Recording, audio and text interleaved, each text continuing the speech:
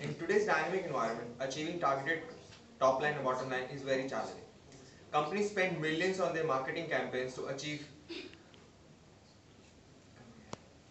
It's like retaining old customers. In today's dynamic environment, achieving targeted top line and bottom line is very challenging. Companies spend millions on their marketing campaigns to retain old customers and acquiring new ones. However, one of the integral parts of maintaining a good relationship with the consumer is price, which is being offered.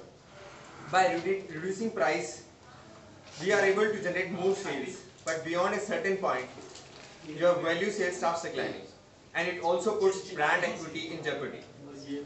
So, how can we determine which price is appropriate for consumers at the same time achieving organization's goals?